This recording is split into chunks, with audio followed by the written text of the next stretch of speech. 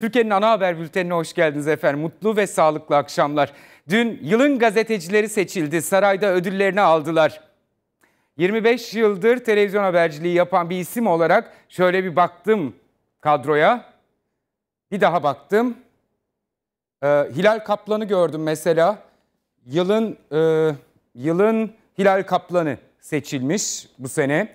Yılın Abdülkadir Selvisi var. Ondan sonra e, bakıyorum tabloda bu gurur tablosunda neyse e, Cumhurbaşkanı el, e, Erdoğan'ın elinden ödüllerini aldılar. Medyada en iyilermiş onlara ödüller verildi dün sarayda. Yalnız daha evvel ödül verileceği açıklanan bir isim gelemedi törene. Veys Ateş'e de ödül vermeye karar vermişler de işte Veys Ateş Bey'in başına gelenlerden sonra ona ödül vermekten vazgeçmişler. O haberle başlayalım.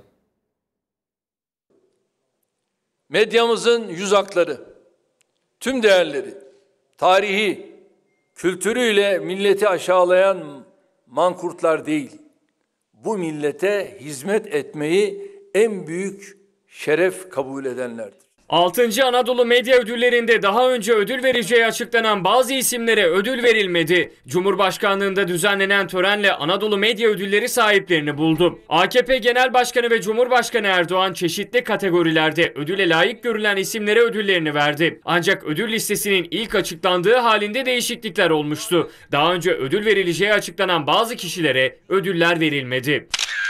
Ödülü geri çekilenler arasında ise Sedat Peker detayı gözlerden kaçmadı. Habertürk TV'nin eski spikeri Veys Ateş'e yılın erkek haber spikeri ödülü verileceği açıklanmıştı. Ancak Ateş'e verilecek ödülün suç örgütü lideri Sedat Peker ve SBK Holding sahibi Sezgin Baran Korkmaz'ın da isminin karıştığı rüşvet tartışmasının ardından iptal edildiği açıklandı. Ödülü verilmeyen tek kişi Veys Ateş değildi. Yine mafya lideri Peker'in ifşalarıyla gündeme gelen Hadi Özışık'ın sahibi olduğu gazeteciler.com adlı internet sitesinin ödülü de verilmedi. Özışık'ın sitesinin alacağı ödül Cumhurbaşkanı Erdoğan'ın kuzeninin sahibi olduğu süperhabertv.com isimli internet sitesine verildi.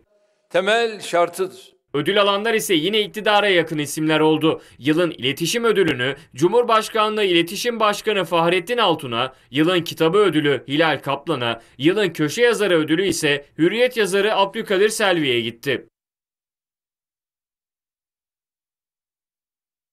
İlk defa yılın Ankara temsilcisi diye bir kategori duydum. Kanal D'nin temsilcisine verilmiş. Çok ince ayar yapılmış, ödüller dağıtılmış. Mankurtlara değil, gazetecilere verildi deniliyor. Hilal Kaplan yılın yazarı seçildi. Niye? Cumhurbaşkanı Erdoğan'ın da kitabı çıktı vitrinlerde. Belki önümüzdeki yıl alır ödülü. Neyse Veys Ateş'e verilemedi ödül. Veys Ateş yok. Zira ortada en son soruları yanıtlamaya gayret etmişti hatırlayacaksınız. Az evvel Sedat Peker bir tweet attı. 1 Ekim'de meclisin açılışında İçişleri Bakanı Süleyman Soylu'ya bir sürpriz hazırladığını, 1 Ekim'de İçişleri Bakanı ile ilgili bir açıklama yapacağını söyledi. Sedat Peker bekleyip görelim ne açıklayacak. Bu arada Paramount Otel'den bahsedeceğim size. Hani o otelde e, ağırlanıyordu ya gazeteciler övünerek fotoğraf paylaşıyorlardı. Geceliği 10 binlerce lira olan otelde. Hani sabah ilk erken gelenin çöktüğü otelde Paramount Otel'e e, haciz geldi efendim. Paramount Otel'in sahibi Unico Sigorta ve Ufuk Turizm şirketinin hisselerine el konuldu. Yasemin Uras otelin ilk sahibi usulsüzlük ve hileli satış gerekçesiyle dava açmıştı biliyorsunuz. Mahkeme Paramount Otel'in satışının hukuka aykırı olduğunu tescilledi. Son kararla mülkiyet sahibi Unico Sigorta ve oteli işleten Ufuk Turizm şirketinin tüm hisselerine haciz konuldu. Otelin satışı sırasındaki usulsüzlük ve hile gerekçesiyle mahkemeye giden otelin ilk sahibi Atilla Uras'ın kızı Yasemin Uras bu kararla tüm satış, devir ve diğer işlemlerin durdurulduğunu söyledi. Dedi ki ben bu oteli 100 milyon dolara satıyorum. Ya 160 milyon lira alacağımızı bize ödeyecekler ya da hakkımız olan hisselerin payına karşılık otelimizi mahkeme kararıyla geri alacağız diye konuştu. Sonra çıktı çek karşılıksız. Zaten bir Rus şoförün adına. Uras mahkemeden haciz kararı aldırarak otelin kapısına dayanmıştı. Davayı kazanıyoruz, haklı olduğumuz ortaya çıkıyor fakat sihirli bir el çıkıyor ve bizi engelliyorlar demişti. E, bu sefer hisseler kasada rehindi. Paramount Otel'in hisselerine haciz getirildi. Tankla çöktüler otele diyordu hanımefendi hatırlayacaksınız. Sezgin Baran Korkmaz firari durumdayken dönemin Yargıtay üyesiyle İrfan Fidan'la arasında nasıl bir ilişki vardı? Soru bu. Yargıtay üyesiyle Sezgin Baran Korkmaz'ın firari durumdaki o zaman firariydi. Sezgin Baran Korkmaz'ın nasıl bir ilişkisi var? Cep telefonundan mesajlaştılar mı mesela? Bu konuyla ilgili haberleri konuşmayın, paylaşmayın, yaymayın. Zira bu haberlere erişim engeli getirildi.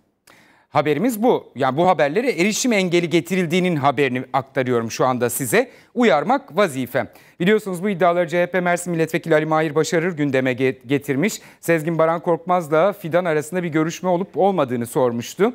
Başarır'ın Tele1'e konuk olduğu programda söylediği bu sözler büyük yankı yaratmıştı. Korkmaz'ın telefonundan şu anda Anayasa Mahkemesi üyesi görevindeki İrfan Fidan'la mesajlatıp mesajlaşıp mesajlaşmadığı sorusuna bu soruyla ilgili haberlere engel geldi. Programın YouTube kaydı, konuyla ilgili yapılan haberler, kişilik hakları ihlali gerekçesiyle mahkeme kararıyla engellendi. Kara para aklama suçlamasıyla Türkiye'de soruşturulan Korkmaz hakkında tutuklama kararı çıkmış.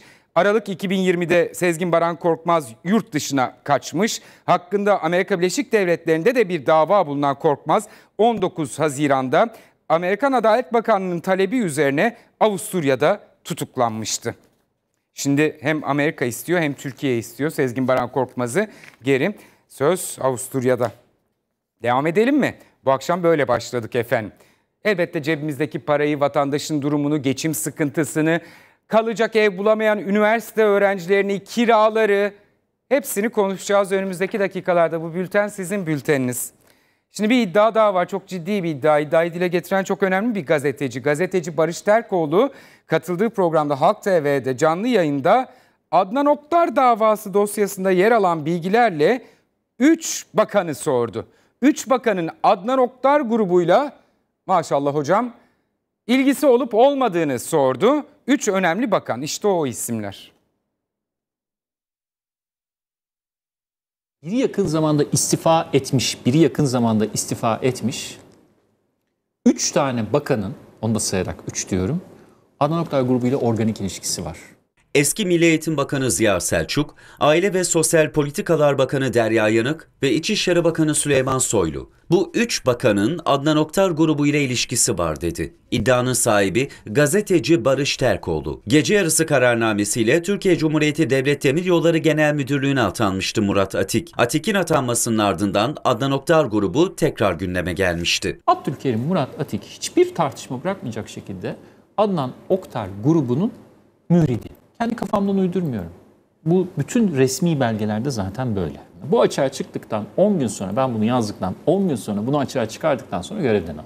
Atik'in Türkiye Cumhuriyeti Devlet Demiryolları Genel Müdürlüğü görevi kısa sürdü. 10 gün önce Cumhurbaşkanı imzasıyla göreve gelen Atik istifa etti. Benim bu yazdıklarımı Ankara'da bizzat hükümetin içinde de, iktidarın içinde de bazı isimler biliyorlardı. Gazeteci Barış Terkoğlu'nun iddiaları bununla sınırlı değil. Biri yakın zamanda istifa etmiş, biri yakın zamanda istifa etmiş.